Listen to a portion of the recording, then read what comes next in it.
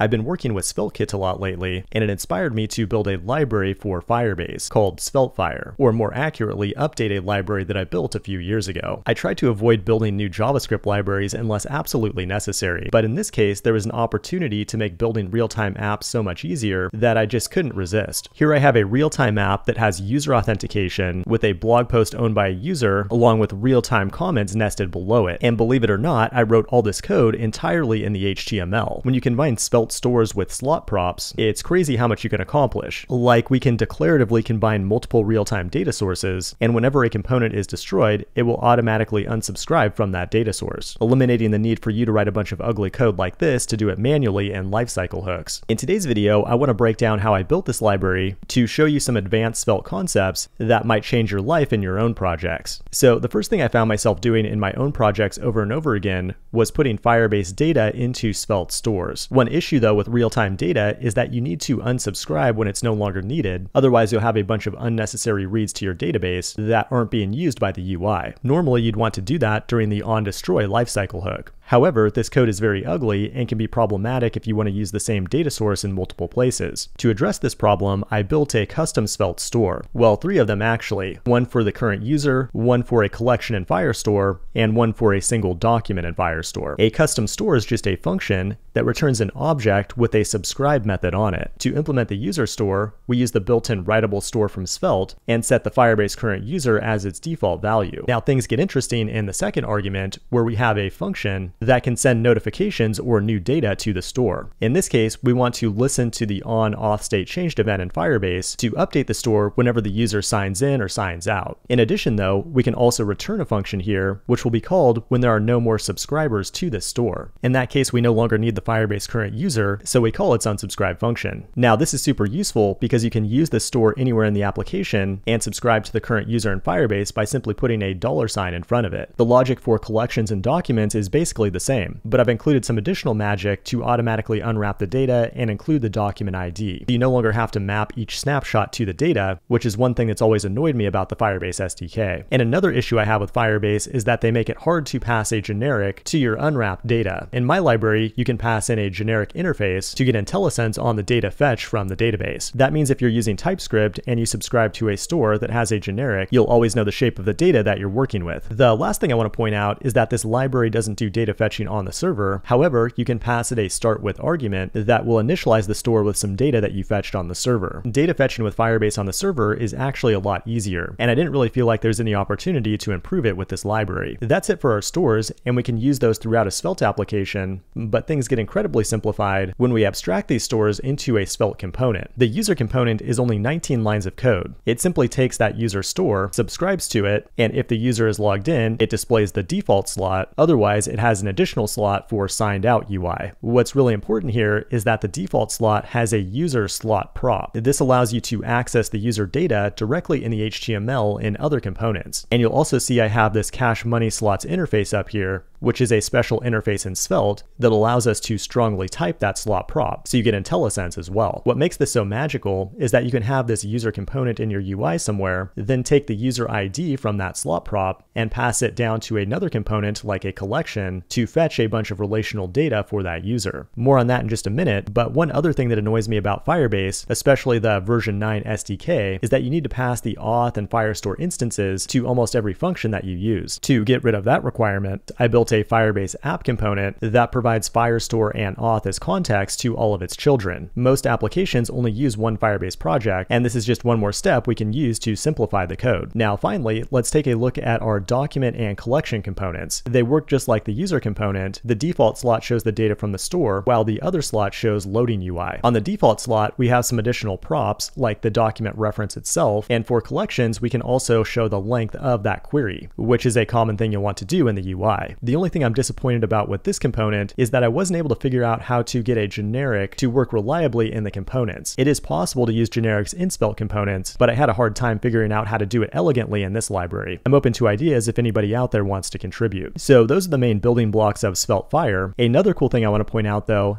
is that I built it with Svelte Kit, which has a new built-in library package template thing. This is really cool because you can develop your library in the lib directory and then test everything out on the routes. To wrap things up, let's build a full stack app with Svelte Fire in about 30 seconds. Add the Firebase app at the top level, then check to see if the current user is logged in. If they are signed in, we can grab a document associated to that user ID. The data is available as a slot prop that we can rename to post. Now that post might have a nested subcollection of comments, which we can then fetch with the collection component. The data is an array of real-time comments fetched from the database. And we're done. That actually only took 20 seconds, and I think that's the easiest real-time app I've ever built in my life. At this point, Svelte Fire is just experimental, but I'm hoping you learn some patterns here that you might be able to apply in your own project. If you're a Fireship Pro member, I'm working on a full SvelteKit course that will go into stuff like this in far greater detail, and that should be available in about a month or so. I also have a new Stripe course that's almost finished, so stay tuned for that as well. Thanks for watching, and I will see you in the next one.